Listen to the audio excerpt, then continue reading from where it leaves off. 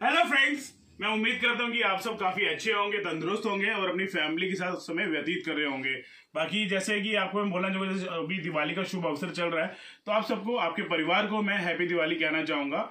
और आपने हमें बुरे वक्त में भी काफ़ी सपोर्ट किया। और आप करते ही आ रहे हैं, उस सबके लिए मैं थैंक्स कहना चाहूँगा, उसके लिए हैप्पी दिवाली भी कहना चाहूँगा। और इसी तरह आप अपना प्यार दिखाते रहिए, और अगर आप मेरे चैनल पे नए हैं तो मेरे चैनल को आप ज़रूर सब्सक्राइब करिएगा, ये वीडियो अपने फ्रेंड सर्कल में ज़रूर शेयर करिएगा।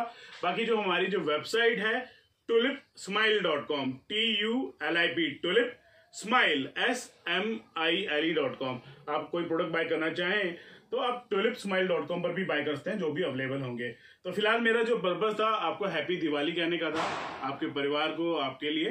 तो आप इंजॉय ज़रूर करेगा अपनी फैमिली के साथ। Thanks for watching this video have a nice day happy Diwali.